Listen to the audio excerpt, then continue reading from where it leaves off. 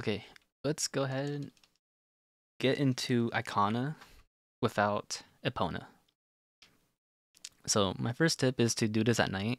I don't think you can do this with, bomb Bombchus, but I know that this works with the bubbles. But bubbles are a lot easier to work with than a Bombchu. So you're just gonna do the bomb boosting, not the bomb boosting, but the enemy boosting thing.